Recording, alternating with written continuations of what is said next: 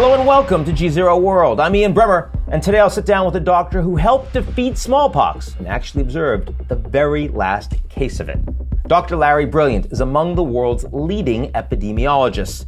We'll talk about how the past informs the present and what can be done to stop the spread of COVID 19.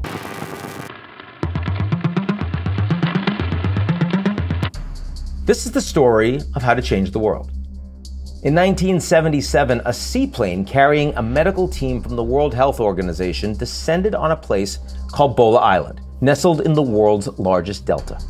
Their mission? Monitor and eradicate a deadly and highly contagious virus, first documented in China and easily spread by droplets from a cough or a sneeze. It sounds familiar, but this is the story of smallpox. And the guy coming off the plane? That's Dr. Larry Brilliant who would go on to co found the Seva Foundation treating blindness and later lead Google's worldwide philanthropy. But back then, in this impoverished island community of Bangladesh, he had arrived to observe two year old Rahima Banu, the last known case of killer smallpox. After some 3,000 years, the fact that such a widespread disease could be whittled down to one little girl was an extraordinary feat, capping off a monumental global effort. Banu survived, by the way, to understand how it happened and what lessons might be applied to COVID 19, let's take a step back and have a look at how we got here. Egypt may claim the earliest cases. Three out of every 10 people who got it died. And wealth couldn't save you either. Egyptian Pharaoh Ramses V succumbed. So did Roman Emperor Marcus Aurelius. It went on to kill emperors in Japan, queens in England and Sweden, kings in Spain and France, and a czar in Russia something had to be done. Early vaccination efforts began in the late 1700s with mixed results, and as medical technologies evolved, so did the push to stamp it out. On January 1st, 1967, the World Health Organization began a project called the Intensified Smallpox Eradication Program. Earlier eradication efforts had failed, just as they had against malaria and yellow fever, but these scientists had the benefit of something their predecessors didn't better technology. Prior vaccines were no good in hot climates, but with heat resistant vaccines and a better way to deliver them, the path to eradication was opening. Still, it couldn't work without heavy surveillance followed by containment. The idea was to get into communities early, test and isolate those who had been infected, then vaccinate all of those in the immediate area. By 1980, it had worked smallpox became the only human disease to have been completely eradicated. Fast forward to 2006, a more seasoned Larry Brilliant offered a warning during a TED Talk. The world isn't ready for the next big one. Medical supplies and advanced warning systems were in no shape for a pandemic, and Larry called for investment in a new global system to stop deadly viruses before they could spread. I did a study of the top epidemiologists in the world, and they thought that if there was a pandemic, a billion people would get sick. As many as 165 million people would die. There would be a global recession and depression, and the cost to our economy of one to three trillion dollars, the consequences are almost unthinkable. Larry Brilliant, epidemiologists, technologists, philanthropists, bon vivant, raconteur. So good to see you, my friend. Bremmer, the raconteur and bon vivant is yours, but I, am so happy to see you again, my friend. Your very famous TED Talk back almost 15 years ago now, warning the world about the next great pandemic. And at that point, you said uh, the numbers were pretty startling. A billion people could be infected, 165 million potential deaths. Um, could this have been the big one if it could have been, could it still be uh, the big one, given what we know now? Well, uh, it, it, could have been a lot worse. Um, I think there's no question that a billion people will be sickened by this. Um, maybe I wouldn't be surprised if it was 3 billion, but certainly more than 1 billion. We're, just early into it. We don't know that it's going to be a uh, a round one, round two, round three, like it was in 1918, where the second round was the most devilish. Um, so, so we don't know the answer to that question. Is it the big one? It's big enough. Um, I, I can't imagine that the death rate, which is now, you know, five percent, that death rate, of course, is art, artifact because deaths are reported earlier. You know, we epidemiologists have an awful but quaint term. We say that death is a hard endpoint. Right. and we don't know how many cases there really are, right? No, we, we don't know how many cases. And until we get over this ridiculous uh, government failure of not having sufficient test kits, they should be free, they should be ubiquitous, there should be hundreds of millions. You should be able to get uh, both the um, uh, virological and immunological tests at home with a, a finger stick uh, for free when you want it without a, a physician's prescription. This is a pandemic. But when you talk about one to three billion people that are going to be sickened or in some way contract this disease, of course, that says that almost no matter what the United States does, um, the, those aren't U.S. numbers. Those are big, gaudy, every corner of the globe numbers, most of which has nowhere near the capacity to respond that the Americans do. So explain, well, what do you think the parameters but, but, of that looks like? But see, that's exactly right. And, and that's why the, the failures in most of the developed world, let, let's put the UK and Sweden in that, in that same pot. Um, that's why they are so uh, uh, disappointing. Uh, because what's, what's the, the slums in, in Mumbai with the highest density, uh, you know, people per acre in the world? How are they going to fare? What about Kibera in, in Kenya? Look, we haven't even started talking about Zimbabwe and Venezuela and Syria and Afghanistan, failed states or states on the brink of collapse with virtually no public health system. Yeah, that the deaths are going to come from there as well in higher proportions, certainly.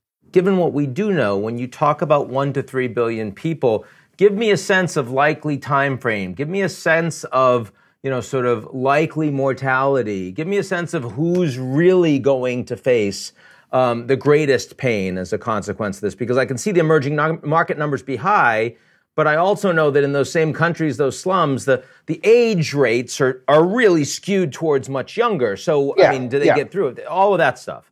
If it's going to take us 12 to 18 months to get a vaccine, yes, I know there's good news coming out of the Moderna and NIH vaccine. Good news coming uh, out of the Oxford program. Good news coming out of J and J. So let's say that we have a vaccine in 10 months, and let's say it's in the field in trials now, and that it's in the arms of first responders this fall, and it's available next year. So that's one year.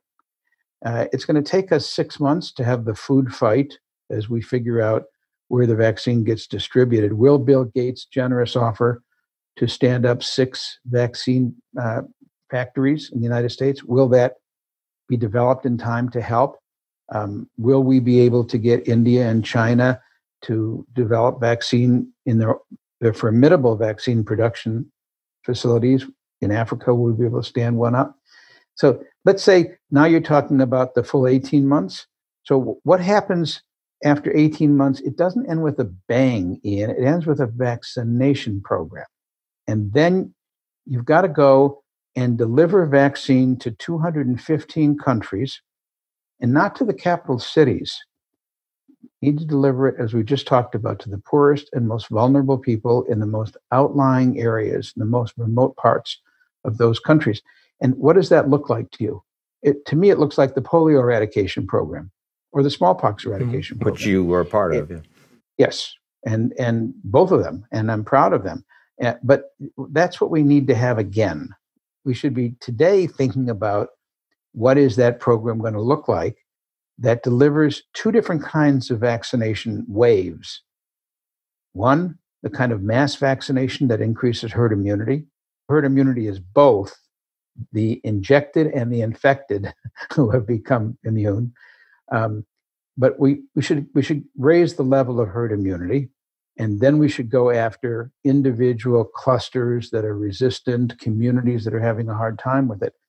But all of that should be done in a coordinated way, or you're going to have uh, countries that are so behind, lagging, that the virus continues to form a Wuhan or a northern Italy So we should be thinking about that now. We should be fighting about it now, adjudicating it now, bringing it to the Security Council now. Nada, crickets.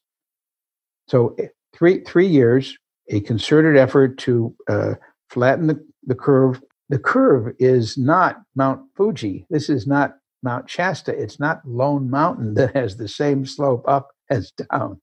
It's a tidal wave followed by rogue waves and echo waves and uh, and swells. uh, the the height of which depends upon how well we work and how good we are.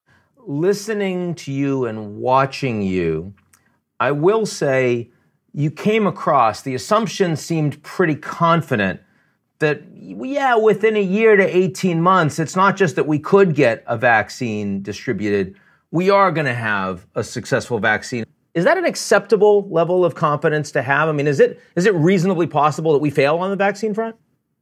I am pretty confident that we will have multiple vaccines. I think we have 60 right now that are in various stage of uh, thinking about and doing. We have five that are in phase one trials. Yep. Um, I, it, it, it's hard for me to believe that we won't have a vaccine, or said another way, we will have a vaccine. Whether it'll be as good as the smallpox vaccination or the polio vaccination, no, I don't think so. That took, in one case, hundreds of years.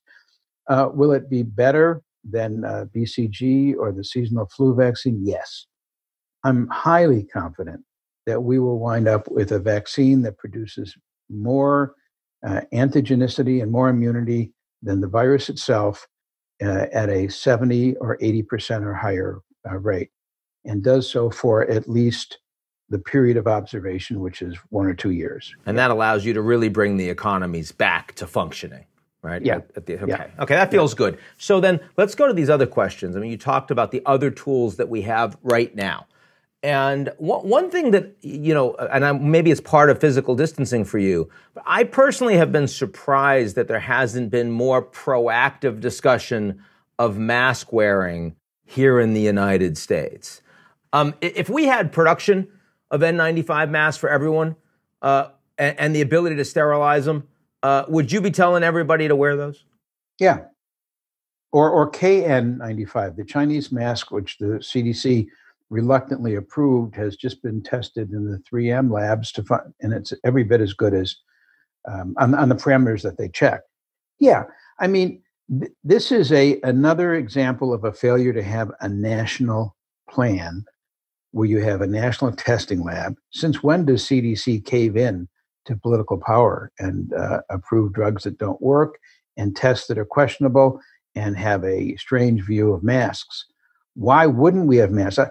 Um, I just wrote about uh, the 1918 flu in San Francisco, uh, where the city fathers, and they were only fathers in 1918, uh, in October, uh, thinking that the virus had uh, ended its round in, in San Francisco, decided to have a mass celebration in downtown San Francisco, Union Square. And the idea was that everybody would come together and do what? Remove their masks. This is 1918. Well, they removed their masks, they had a big party, and then exactly two incubation periods later, the virus came back worse than ever. Two lessons there. One, even then they had masks. Two, taking them off was a bad idea. So um, when I think about um, what we're doing now as we think about reopening the economy, relaxing the lockdown measures, um, give give us the Larry Brilliant plan in the United States, in the Bay Area, in New York, the places that are hard hit, what would the plan look like? Uh, first of all, I would I would try to get the uh, hyperbole on both sides out of it. Uh, you saw the the hyperbole in uh, Michigan and Ohio, people protesting, open up without regard, pretty much, uh, reopen the economy. And you see people who are they may never leave their apartment again um, don't open anything. I think there's a, a, a, prudent middle ground. The governor of michigan who wanted to ban getting seeds and planting seeds for a house a home veggie garden? Well that's wrong. I mean that's that's clearly an overreaction. People should be able to do those things. They are pretty solitary occupations. Um, if we start adding in masks and in i would add glasses and hats and gloves because the virus can enter through the eyes. That's why I recommend my friends have two hats. One that they leave outside. And when they go out, they put it on, and they take it off, they leave it there in the sun, it'll kill the virus. And then another, virus, another hat that you can wear the next time. Uh, I think if you wear glasses and hats and masks and gloves and you stay six feet away, you are you've done a pretty good job. Uh, I don't recommend that for the rest of our lives, but for now, if we agree to that, then you can start opening up other things. Let's move um, to the tech side. How much is this going to be affected by the technology, by the contact tracing? Yeah. If we have to publicly opt in, if it's not forced, like it would be in China, for example, or Singapore, uh, how effective is that going to be? What, what do you think about how our lives will or won't change with the technology interventions? Uh, personal behavior dictates a larger range of public policies. So let's start off with what we have right now. We have uh, three or four bidirectional opt in systems. The one that I like is COVID Near You. It's been running as Flu Near You for about 10 years. They've got about three quarters of a million people who opt in and every week report their symptoms.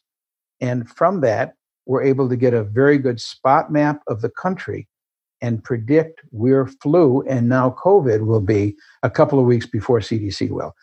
Uh, if we can get 100 million people voluntarily opting in, even though it's not a stochastic random probability sample, um, we will have some wonderful uh, tools. When we look around the world right now, where would you point fingers and say these are governments that have really they've made big mistakes they're making big mistakes and we need to do something about it there's different kinds of mistakes. Um, i think uh, you, you can't make a bigger mistake than the uk made at the very beginning. Um, somehow believing that you could stop the virus from uh, attacking and killing a lot of people by letting the virus attack and kill a lot of people how could they for a moment believe something as silly as that. Now, to their credit, they've turned around. I don't know whether it's Boris being in the hospital, but I think they're now on the right path. But that moment, no, they were they were turning around before Boris got in the hospital. Actually, they they just saw the numbers and realized that they were screwing up pretty badly. Yeah, and I think in the United States, um, we had three different levels of failures. We uh, Trump fired the uh, admiral, who was the only person on the National Security Council charged with looking around and worrying about bioterrorism, bioerror, and emerging communicable diseases. We defunded or threatened to defund or slow rolled the funding um, of AID and CDC funding 37 countries that were in hotspots that were likely to be accelerators of the virus. I think we've come back and we've started funding them again, but you, you, don't get back the time that you lose. And the best example of that is you don't get back the missing six weeks when nothing happened, when we had a flawed test kit because we didn't want to use the German designed, Chinese evaluated, WHO provided test kit that everybody else used well. We wanted to do something special and we over engineered it. We didn't understand how many reagents it would take. Uh, and then by downplaying and mau mauing the severity of the disease, we set in motion a, uh, a politicization of a pandemic, which is crazy. So you now have people who still believe it's a hoax. They still believe that um, it's mild. They still believe it's like the flu. We have governors who believe that. We have governors to this day that have not uh, issued social distancing orders. So I don't want to make this into an anti-individual politician or anti-Trump thing. I, I stay in my lane I'm only talking about the decisions that were made that endanger the lives of people from this pandemic. And we've made a lot of them. Larry Brilliant, thank you very much. Ian Bremmer, world is better with you in it, my friend. That's our show this week. Come back next week. Come back every week. Why wouldn't you? Because that's why you're here. You enjoy the show, but also check us out and our excellent digital newsletter. You should sign yourself up called Signal.